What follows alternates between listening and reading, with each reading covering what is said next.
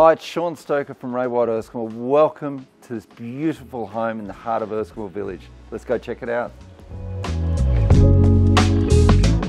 As you enter the front door, you'll see the beautiful oak timber floors. You've got the bedroom downstairs with built-in wardrobes.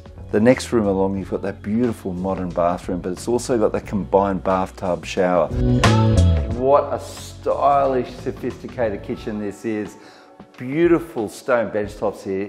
One of my favourite patterns I've seen in Erskineville. You've also got the induction Franke cooktop here. You've got an exhaust that pops up here that draws the air outside. And this is what I love about this kitchen. You've got your own butler's pantry at the back here. The magic really happens at the back of this property.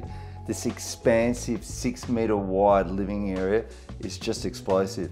On the left hand side of the living area, you've got this glass feature wall that just lets in the natural light, but it's private also. As you make your way to the second level, it's got three bedrooms, two bathrooms.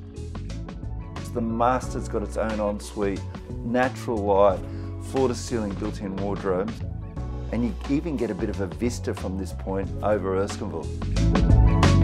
You've got that all important rear lane access for off street parking, but also when you park your car, you don't see it from inside the house, which is a great feature.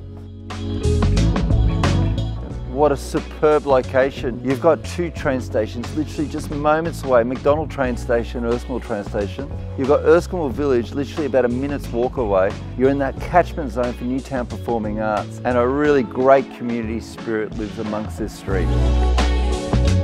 It's been an absolute pleasure showing you this property. I look forward to seeing you at the next open home.